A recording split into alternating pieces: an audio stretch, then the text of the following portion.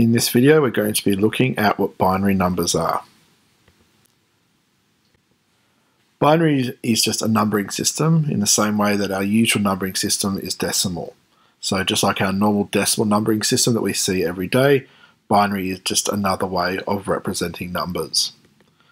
Binary uses the values 0 and 1 to represent all numbers. And again, it's the place value of either the 0 or 1 that determines what the number actually is. So in decimal, we have 10 values that represent all the numbers. That is 0, 1, 2, 3, 4, 5, 6, 7, 8, and 9. And depending on where we place them, we can determine their number. So the place value of each of those values determines a number.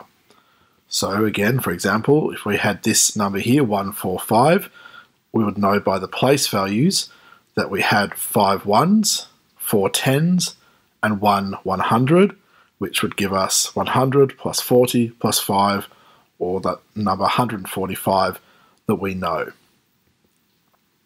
So now let's have a look at the place values of the binary system.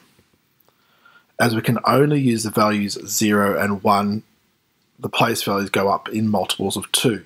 So we often call this a base 2 numbering system. Decimal is called a base 10 numbering system. Two possible values or 10 possible values, base 2 or base 10.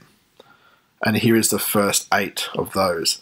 We still start with the ones or the units, and then we double to go to twos, double again to go to fours, eights, 16s, 32, 64, 128, and would continue to double going up higher if need be.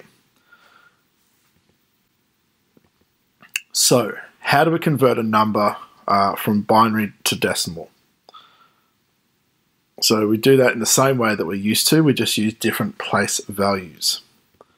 So here we have a binary number, 10010001. If I start with the place values, so I've got my 1s, 2s, 4s, 8s, 16s, 32s, 64s, and 128s, I can start working out what my decimal equivalent to this would be in the same way.